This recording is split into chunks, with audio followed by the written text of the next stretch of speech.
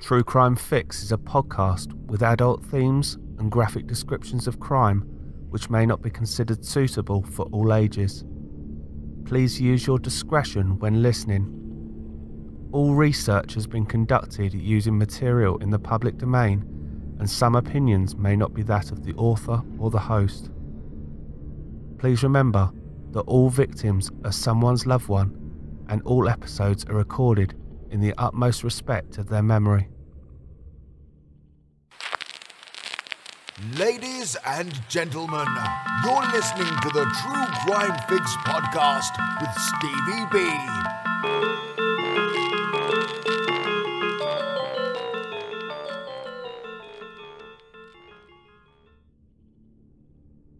This case is one that most people would have heard of, purely for the term bystander behaviour. But how much of the story behind the crime are people aware of? The reoccurring theme throughout most cases that I've covered how the selfish act of one man took away someone who meant so much to so many people. But this is a story about how things could have been so much different. There is also the question of did the way of life of the victim mean that the police did not react in the right way? If you are listening to this on the release day, the 15th of March 2019, we are two days removed from the 55 year anniversary of this crime. Ladies and gentlemen, this is your True Crime Fix. I am your host, Steve, and this episode has been written in memory of Catherine Genovese. She was born Catherine Susan Genovese on the 7th of July 1935 in Brooklyn, New York, to parents Rachel and Vincent Genovese. She was raised at 29 St. John's Place, which is in Park Slope, a neighbourhood in northwest Brooklyn. In the Park Slope neighbourhood, as of the 2000 census, there was just over 65,000 people living there. But back in the 1930s, it was populated mainly by wealthy middle class families. The area of Park Slope contains a number of historical buildings. Buildings such as the Brooklyn Academy of Music, the Brooklyn Botanical Gardens, Brooklyn Museum, and the Conservatory of Music.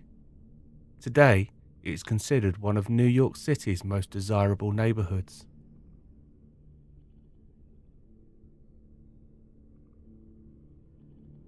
Catherine was one of five children who were all of Italian American descent. During her teenage years, Catherine, who was now going by the name Kitty, attended the all girls school, Prospect Heights High School, where she was described as being self assured beyond her years and having a sunny disposition.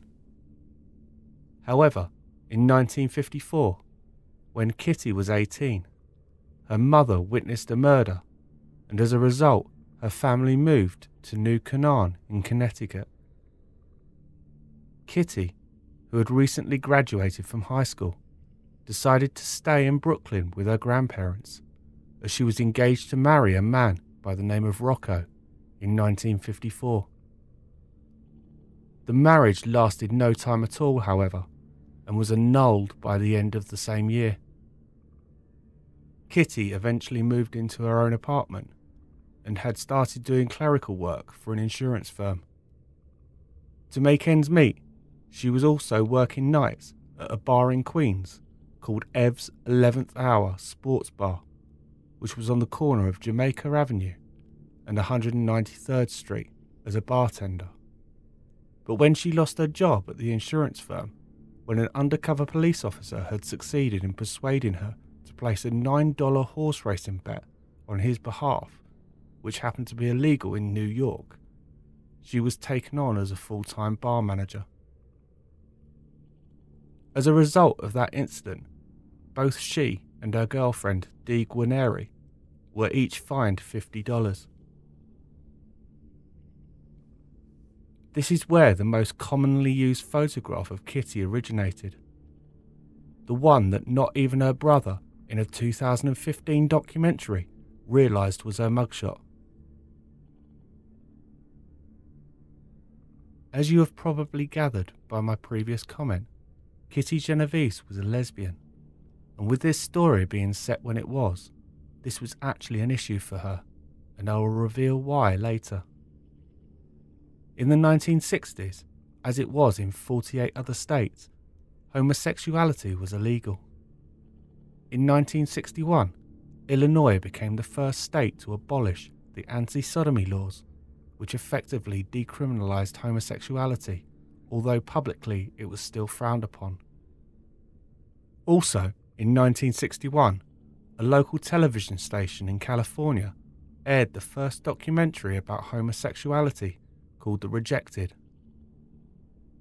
Despite the issues that the lesbian, gay, and bisexual community faced, there was still a strong sense of community in New York City, especially around Greenwich Village.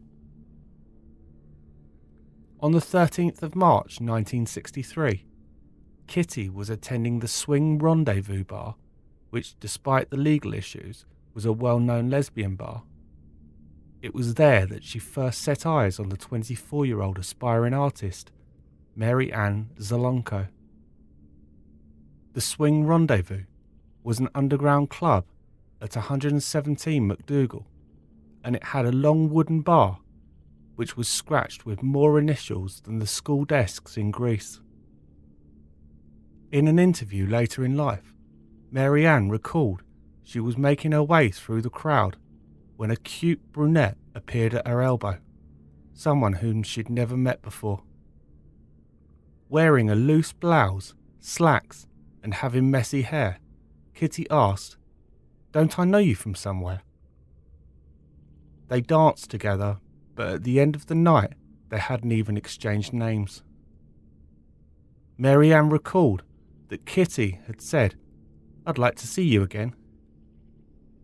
Mary Ann said that she did not have a phone, but mentioned her apartment block as they parted. Mary Ann wondered if she would ever see the mysterious beauty ever again. But Kitty was smitten and savvy, managing to track down Mary Ann's flat and pin a note to her door telling her to wait at a certain payphone downstairs at a specific time for her to call. Their next meeting was on St. Patrick's Day at another underground bar by the name of Seven Steps. It was a bar where a member of the bar staff, who went by the name of Mitch, was actually murdered a few months later. Mary Ann and Kitty spent the evening getting to know one another, eventually going home with each other. Mary Ann recalls their differences. Kitty was an Italian American, she was Polish American. Kitty was Catholic. Mary Ann was agnostic. Kitty was charismatic, whilst Mary Ann was very much an introvert. It was proof that opposites attract. Mary Ann said Kitty was the most wonderful person I have ever met. I still remember her face. I can see it in my mind. She was very Italian looking, with very chiselled features. She had dark hair and was about five feet tall. Soon into their relationship, they moved into an apartment at 8270 Austin Street in the middle class neighbourhood of Kew Gardens in Queens. Mary Ann stated, Being a gay woman in society was very hard, so we were in the closet a lot. In fact, Kitty's family didn't know there was denial there. It was very hard for them.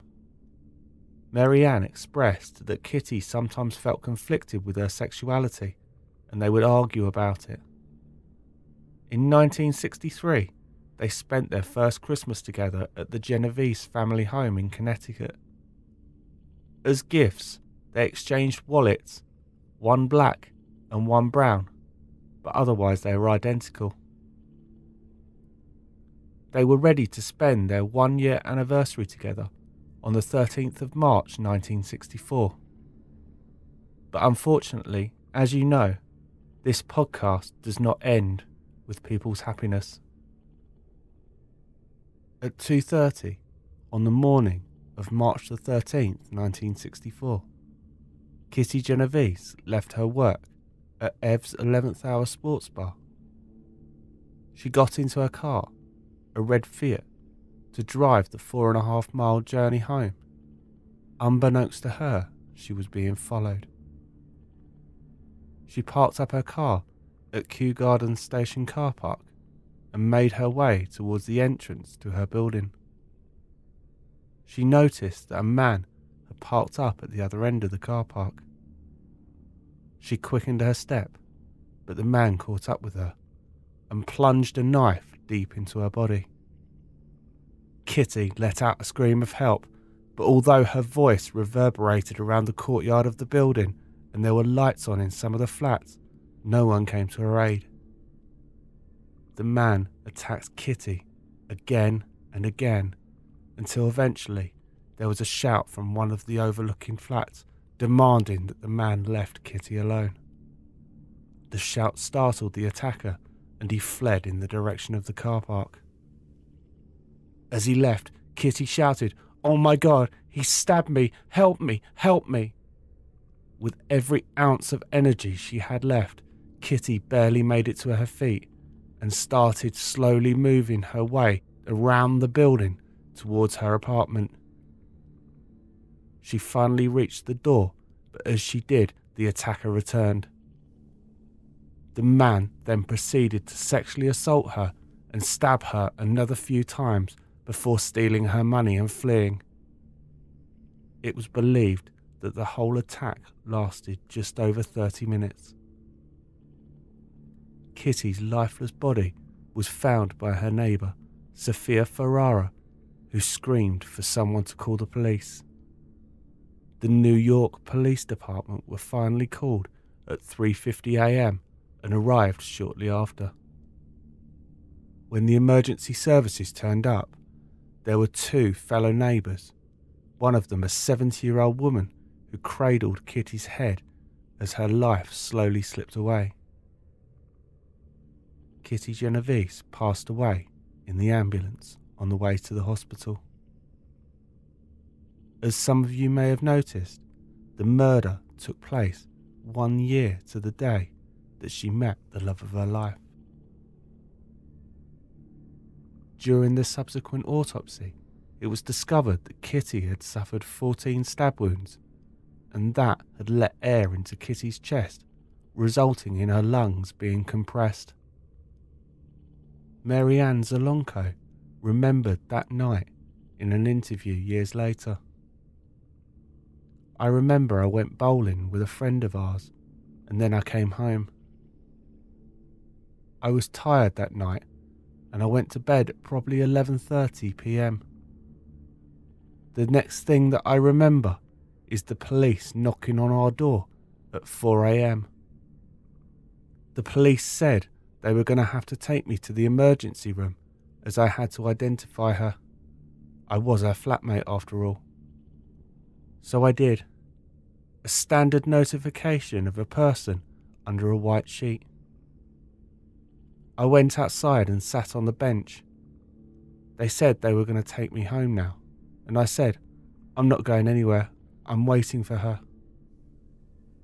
The police returned Marianne to Austin Street where at around 7 am, Detective Mitchell Sang arrived to question her. Marianne was now with her neighbour, Carl Ross, who was helping her get through the night's trauma with alcohol. Detective Sang did not like the attitude of Carl Ross and found him intrusive to the questioning, and due to his drunken behaviour, Sang arrested Carl Ross for disorderly conduct. Detective Sang was aware of where Kitty's body had been found and that it was directly in front of the stairs which led to where Carl Ross lived. Carl Ross had been intoxicated on the night of the 12th of March, continuing drinking into the early hours of the following morning. Mr. Ross revealed in a police interview that he heard noises outside, and after some deliberation, he opened the door a crack to investigate. What he saw and the way he acted could have potentially given this story a completely different ending. According to Mr. Ross, the events went exactly as follows. He opened the door and saw Kitty getting stabbed by an unknown assailant, but although she was on the floor, she was still alive and trying to talk. However, rather than either intervening or calling the police, he shut the door on Kitty and telephoned a friend to ask what to do. The friend, who was in Long Island, had advised him to do nothing. He made a second telephone call to a friend who was in the same complex, Mrs. Archer. The neighbour told Mr. Ross to come over. Frightened for what was transpiring outside of his door, Carl Ross climbed out of his window and over the roof to his neighbour's apartment. He was the one who eventually called the police when he heard Sophia Ferrara screaming for help. Carl Ross revealed later that he just didn't want to get involved. One of the suggestions as to the reason why Carl Ross did not want to get involved was that he was also a gay man. As I explained earlier about Marianne and Kitty, being gay in early 1960s New York, the whole community had a distrust for the police. With the arrest earlier in the day by Detective Sang, he was forced to appear before a judge and pay a $25 fine before he was released. He was also handed a suspended five day prison sentence.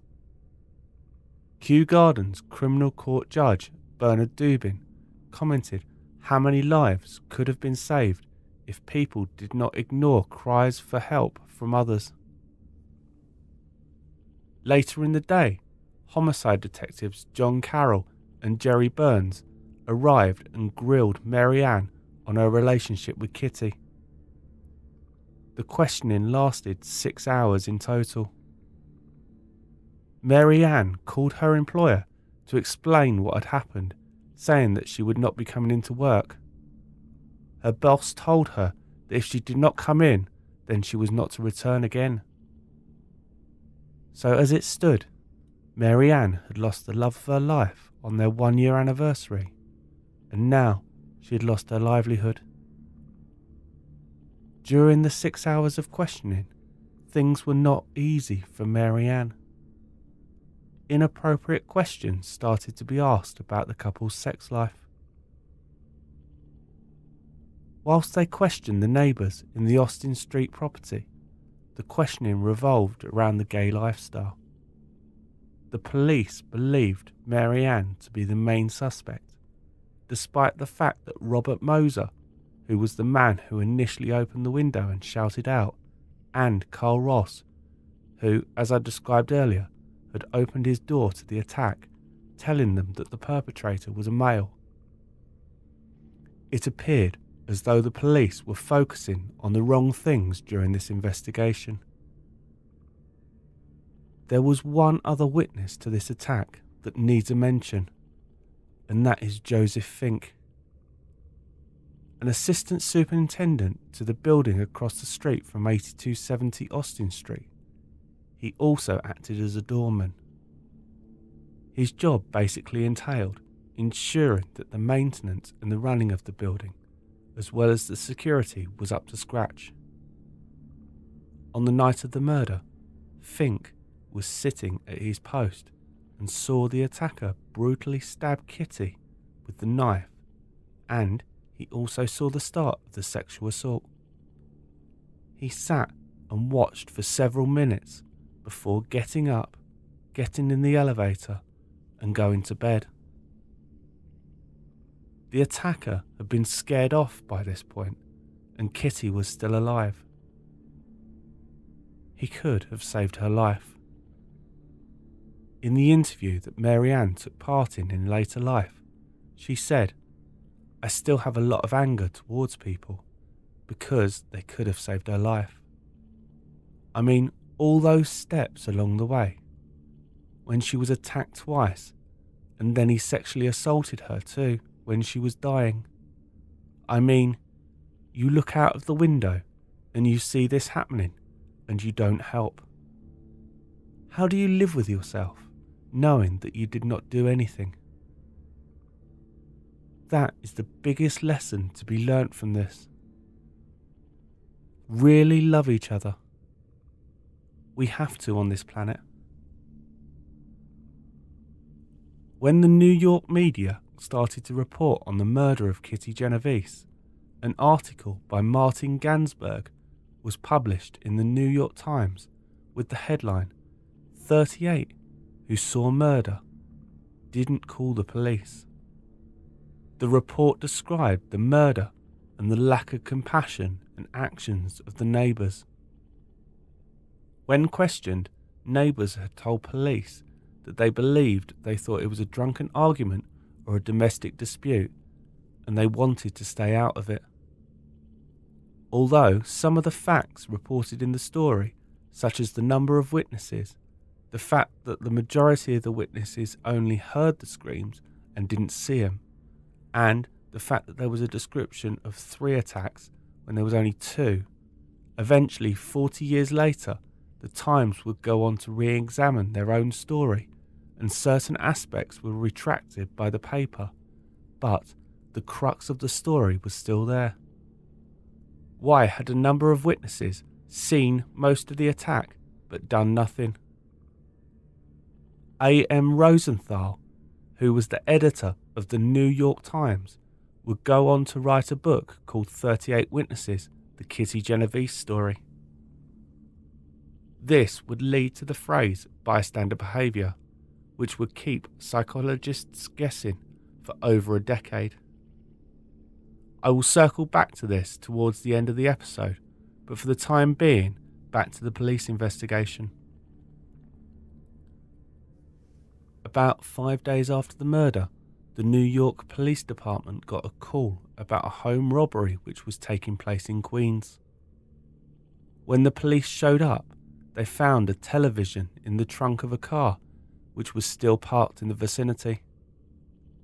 The suspect was Winston Moseley. He was arrested and taken to a local precinct where he confessed to the robbery. It was noted that Winston Moseley drove a white Chevrolet Corvair. Whilst interviewing Moseley, Detective John Tartaglia remembered that some of the witnesses at Austin Street had mentioned that they had seen an assailant in a white car. So, a white car in New York City, needle in a haystack. But the attack was mentioned to Moseley, who said nothing. Tartaglia contacted the two detectives who were on the Kitty Genovese homicide case, Detective Mitchell Sang and Detective John Carroll. When they interviewed Moseley, they noticed that he had scabs on his hands which were consistent with defensive wounds. The two detectives pressed him about the murder, and Moseley confessed and gave the detectives evidence that only the killer would know. Apparently, Moseley had left his bed at 2 a.m. and went for a drive. Moseley had spotted Kitty driving home whilst waiting at a red light. He said that he had been driving around Queens looking for a victim. He was looking to kill a woman, but did not give any indication as to the motive of the attack. Although Winston Moseley had no prior police record, Later in his interviews with detectives, he would also confess to several other rapes and the murders of two other women Annie Mae Johnson and Barbara Kralik.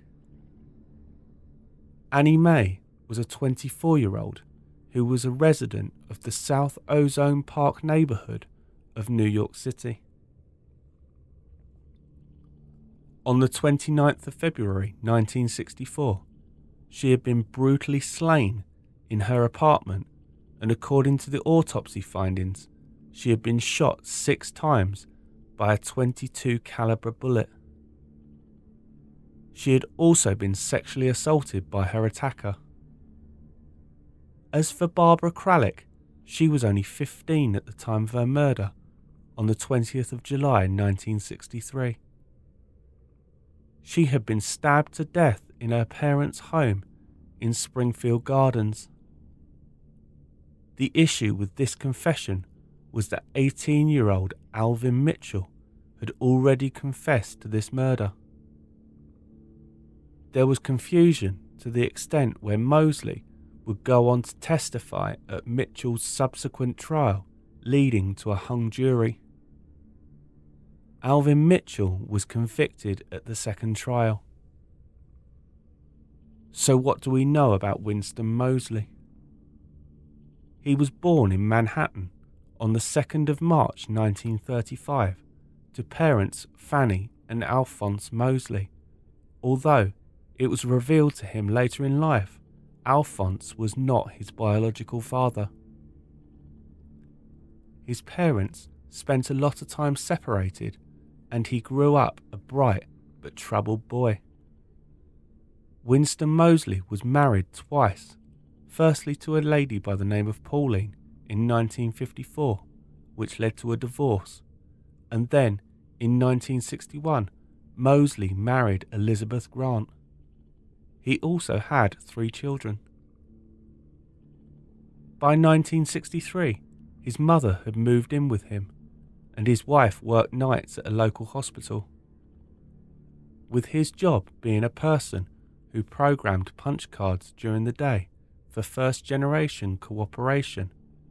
This allowed Moseley time to carry out his extracurricular activities.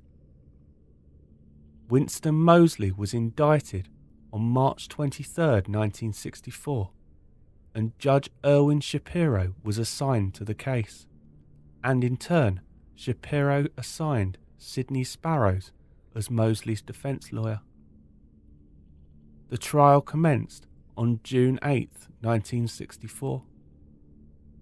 Given Moseley's confession, the strategy for Sparrow at the trial was to go for the not guilty by the reason of insanity defence. At the trial, Moseley gave evidence to support his insanity plea. During his testimony, he gave some extremely graphic detail of the crime so this is advance warning for anyone who is either eating their dinner or does not like to hear the graphic side of things to exercise caution during the next bit. According to Moseley's testimony, he left the house in the early hours of the morning of Friday, the 13th of March 1964, with a hunting knife for the purpose of finding a woman and killing her. At approximately 3 am, he spotted a red car which was being driven by Kitty. He decided to follow that car for almost 10 blocks. They both parked in the same parking lot, and Kitty and Moseley exited their respective vehicles. When Kitty saw Moseley, she started to run, but he caught up with her and, as he stated, stabbed her twice in the back because someone had yelled out of the window at him, Moseley returned to his car to move it, but he saw that Kitty had managed to get up and she was not dead. Since he did not think that the person that called out would come down and help Kitty, regardless of the fact that she had screamed, he came back and looked for her in the Long Island Railroad station. Not finding her there, Moseley looked in some nearby apartment buildings, where he eventually found her in the hallway. He testified as soon as she saw me, she started screaming, and I stabbed her once in the neck. She only moaned after that. Moseley said that he was aware that he had awakened the residents of the apartment building as he heard a door open at least twice, maybe three times, but when he looked up, there was no one there. Since he didn't feel that people were coming down the stairs, he decided to rape Kitty. He said that he removed her undergarments and, upon discovering that she was menstruating, took the hunting knife and stuck it into her vaginal tract. He said he would have pulled the knife straight up, but the bone had stopped him from doing that. Moseley attempted to rape her, but could not do so due to impotence. Nevertheless, the whole ordeal had given him the sexual gratification to still have an orgasm. After stealing her wallet, which contained $49, keys, and some cosmetics, Winston Moseley fled the scene. Moseley also confessed to the other rapes and murders, but did not show one ounce of regret or remorse. Two psychiatrists testified for the defense, offering the opinion that Moseley could not tell the difference between right and wrong. The common theme throughout this episode has been the issues that the narrow mindedness that 1960s New York had caused. The defense team stated during the trial that the willingness of Kitty to perform cunnilingus on a woman menstruating was a perversion on par with Moseley's necrophilia. Firstly, there was no evidence of this ever happening, and secondly, there is no relevance of that comment in association with this attack. Ultimately, though, the jury rejected his pleas of insanity and found him guilty of the first degree murder of Kitty Genovese. On the 15th of June 1964, a separate court hearing was heard specifically for sentencing and whether the court should impose the maximum penalty of death. The method of execution in New York was the electric chair, with Eddie Mays having been the last one executed at Sing Sing Prison in 1963.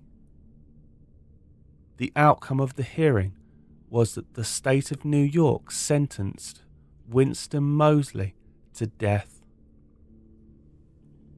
In 1965, the state of New York revoked the death penalty for all crimes apart from the murder of a police officer. As a result of this, the state's Court of Appeal in 1967 commuted Moseley's sentence of execution to life in prison. Moseley would serve his sentence at Attica Correctional Facility in New York State. In early 1968, Mosley concocted a plan to escape. He proceeded to insert a tin of spam into his rectum, hoping that these injuries would force him to be moved from his cell to hospital where the security would be more lax. En route, he escaped from the transport van and broke into an unoccupied house.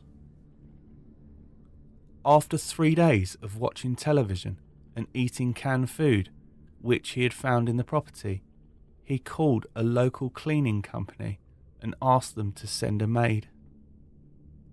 When she arrived, he threatened her with a gun he had found in the house. He proceeded to rape her several times before warning her if she told anybody, he would find her children and kill them. He then let her go. The woman did not call the police, but she did manage to get the contact details of the homeowners to warn them that someone was there. The homeowners, who were a married couple, called the police, but when they did, the police rejected their request for help, saying there was a staff changeover during 90 minutes and that they should call again later. Nervous about their property and the gun that they knew was in the house, they decided not to wait. When the couple arrived back at their home, they were confronted by an armed Moseley. Moseley proceeded to tie up the husband and then raped the wife. Moseley fled the house in the couple's car. It was not until Moseley broke into another property and took more hostages that he was reapprehended after a standoff with the FBI in Buffalo, where he was then returned to jail. He received two 15 year terms to run concurrently with his life sentence. In 1971, he joined the Attica prison uprising for better living conditions for prisons. He earned a college degree in 1977. He also applied and was rejected for parole on 18 different occasions, the last time being in 2015. On the 28th of March 2016, at the age of 81, Winston Moseley died in the maximum security prison, Clinton Correctional Facility, in Dannemora near the Canadian border. In prison for 51 years and 8 months, he was one of the state's longest serving inmates. After her murder, the family laid Catherine Susan Genovese to rest in Lakeview Cemetery in Fairfield County, Connecticut. Normally, when carrying out these episodes, this is where I would briefly eulogise about how the victim's passing has been in vain. But I cannot do this with this case. The death of Kitty Genovese has been credited for the formation of 911 in the United States in 1968. Prior to this, there was only one way to reach the emergency services, and that was by pressing zero to reach the operator and hope that they were not too busy to connect your call. After the murder, New York City officials joined together with the other states to obtain a national emergency number. The first call to the emergency number was made in Alabama on the 16th of February 1968 by Senator Rankin Fite. The second thing to develop from this case was a number of psychological studies into bystander behaviour. In 1968, Bibb Latané and John Darley made their careers studying bystander behaviour, specifically bystander apathy and diffusion of responsibility. In other words, the way that people reacted to public attacks or a person feeling ill on the street when there was a large number of other witnesses. Many of their studies were conducted in laboratories, but in 1969, Jane Piliavin, Irving Piliavin, and Judith Rodin conducted an experiment on the New York subway. Staged emergencies were conducted in a short seven and a half minute journey between two stations. On each of the 103 trials, four researchers, two male and two female, entered the train. The two males, one would play the victim, one would play the model, which was the potential helper if no one else reacted.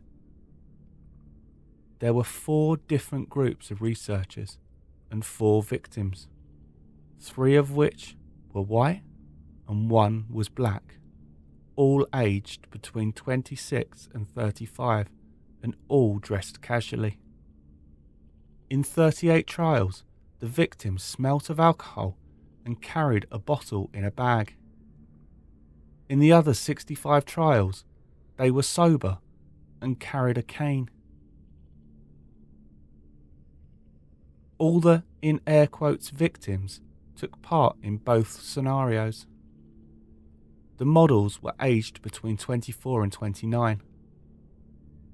After passing the first station, approximately 70 seconds into the journey, the victim collapsed. In 62 of the 65 trials, in the cane situation, the the victim was assisted prior to when the helper was due to intervene, but in the drunk condition, the victim received help 19 out of 38 of the trials. The study suggested that more help was given to victims than earlier on studies had suggested. As for Kitty, however, the thought that someone could have reacted quicker and saved her life means that this case will be talked about for years to come. So that's it for this week. Please remember if you enjoy the show or want to know more, please follow us on Twitter at True Crime Fix Pod. That's at True Crime Fix Pod on Twitter. Or look out for our Facebook page, True Crime Fix Podcast. That's True Crime Fix Podcast on Facebook. I'll be posting the information about the week's case on there. Also, if you have any suggestions or feedback for the show, please contact me at truecrimefixpodcast at gmail.com. That's truecrimefixpodcast at gmail.com.